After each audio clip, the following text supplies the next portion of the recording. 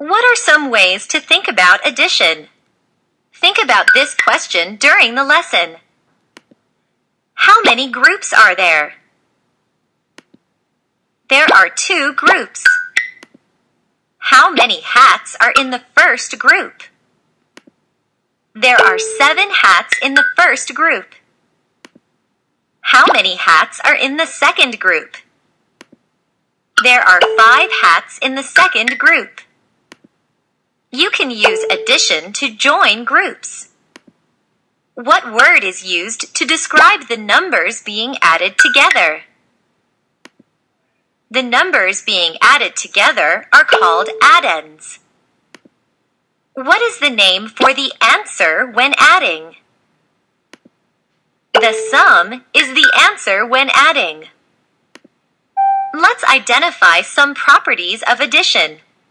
Study this number sentence. What do you notice about the numbers in these number sentences? Why in particular can you use this symbol when you have two different number models?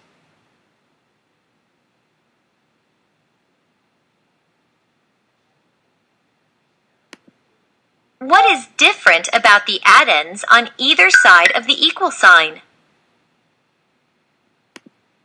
The order of the addends changed. Notice it was 7 plus 5, and now it's 5 plus 7. Do you think that makes a difference? What are the sums?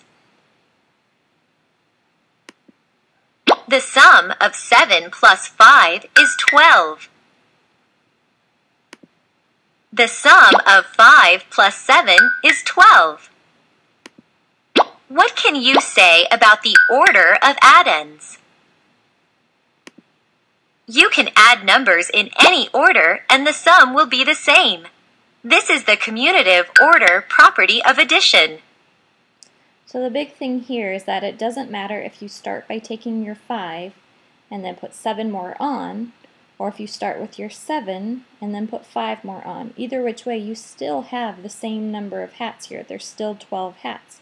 So your commutative order of property is when it doesn't matter whether you add the first number and then the second one or the second and the first. It's going to give you the same total number or the same sum.